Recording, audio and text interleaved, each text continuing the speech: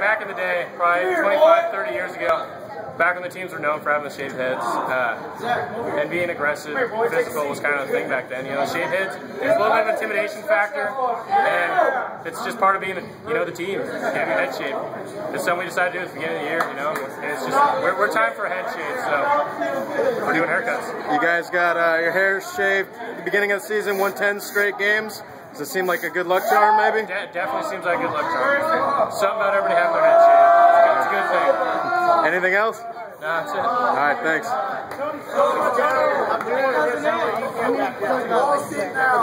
They're not doing Dominic when they do. When Hey, Tony, get a strip of him real quick. They're going.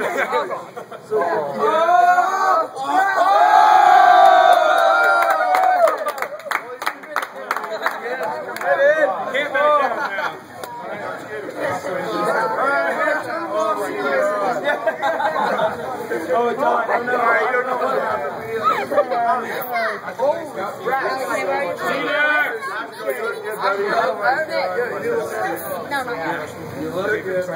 No, not yet. Stop right there. There's another set of clippers. Why is anyone doing this? No! I didn't snow. Frankie, is even a little past. Yeah. I want a mullet. I want a mullet. That is so hot. Oh, yeah. What's up?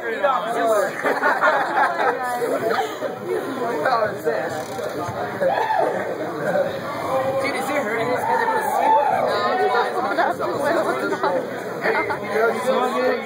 Yeah. Joe, I can't see so well. They just. Oh, yeah. I hear that magical put sunscreen on. I know.